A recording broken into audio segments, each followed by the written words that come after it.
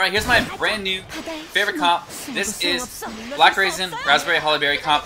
If you don't have Holly Berry, you can replace this uh, frontline unit. You can use Strawberry Crepe instead of Holly Berry. That works perfectly fine too. But this is my new favorite comp. This comp got me to Master 2, got me back up to the top 2,000 range. And I'm going to say I've tried out the Triple Tank, and I love Triple Tank. I've also tried out Moon Rabbit Cookie with Holly Berry in the front line. That was also a really good win percentage.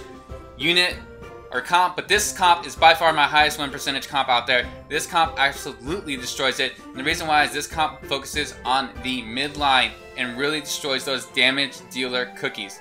As for treasures, I run Scythe. You can run Feather, but Scythe is more effective when you're using Raspberry because it allows Raspberry to do those crits and take out their damage dealer faster before they can hit you for that second or third attack, right? Where you're gonna have to use the feather anyways. Just take out Sea Fairy or Black Raisin before that even happens. That's the key to success using this comp in my opinion, but you're gonna have to use good damage resist. I'm gonna go over the builds right after this fight. First, in this fight, I'm gonna show you in slow motion just so you can see how this team is putting pressure on the midline, right? We're facing a top 3,000 team, pretty good team. Uh, I got my damage focus off with Holly Berry. Raspberry gets canceled sometimes at the beginning. That's all right. I'm still going to hit with Sea Fairy and Black Raisin, and we're going to do a decent amount of damage in the middle. Sea Fairy now is low enough health-wise that Raspberry is going to come in and clean this up. Now they're going to use a feather after Raspberry takes out Sea Fairy, but that feather is now gone. The next time we take out Sea Fairy, Sea Fairy is done. So we're putting more damage on that midline with Sea Fairy and Black Raisin hitting that midline. Raspberry is just going to come finish that job. And now their Sea Fairy is out of there, right? Now we have to less worry about being stunned in that big Sea Fairy attack. Now we just need to get rid of our Sorbet Shark. Sea Fairy comes in, Sorbet Shark's gone, Black Raisin cleans up the healers, and now it's just Holly Berry hanging on, trying to fight for dear life. And look, it's just not to happen.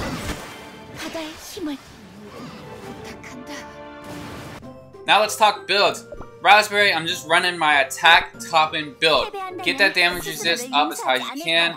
Try to get the 20%. Mine's only 16.9%. I'm going to try to get that higher. Holly Berry. I run cooldown on Holly Berry. I got that cooldown at 24% damage resist as a substat and crit resist at 10%. I'd like to get that higher. Black Raisin, my main focus for Black Raisin was damage resist. I only got it to 12%. I'd like to get that to 15%. After that, focus on attack and crit percent for Black Raisin. Sea Fairy, I got my mix of attack and cooldown. I got attack 30%, cooldown at minimum 11.8%, and damage resist above 20%. I run a mix of cooldown and damage resist pure vanilla cookie. I got 34% damage resist and 14% cooldown. I like to have that extra healing from Pure Vanilla Cookie, especially when I use this comp. Treasures, like I said, you want that attack scroll, clock, and scythe. If you don't have a high level scythe, or if your damage resist is not good enough, you can use feather. But when you're using raspberry comps, preferably run scythe so raspberry can do that extra damage against their damage dealer, right? This comp is about putting the pressure on the midline attackers and wiping them out as fast as possible. So let's check out some examples. We're to go against the top 1,000 team, right? This team is to be very good. Any team in the top 1,000 is to have excellent toppings. You can see Raspberry Cookie putting a lot of pressure on Sea Fairy there. And you're to focus on my Sea Fairy, my Black Raisin, and my Raspberry Cookie. You're going to see them all put in pressure on the midline, doing a lot of damage to the cookies in the midline and taking them out as soon as possible. And once you take those cookies out in the midline, then you just have to worry about the tank and pure vanilla cookie. Look, there's going to be a lot of fights where I do lose my holly berry and my raspberry cookie because I'm running scythe. But it doesn't matter. I still have my sea fairy. I still got my black raisin. And I just have to take out their tank and pure vanilla. And a lot of fights will end this way. But it's not a problem. That's expected. Right? Because I finished them off with that last attack right under their minute mark. And they just take out my tanks. But my sea fairy and my black raisin are fine. Man, Holly Berry though. Holly Berry with that 350% boost was trying to take out Sea Fairy and Black Raisin with that last attack. Alright, here's another team. Uh, this is the typical Ginger Brave Tiger Lily comp. Now, I've faced a lot of the Ginger Brave Tiger Lily comps and testing out this team. They're no trouble. This team cleans them up fast They are absolutely no issue.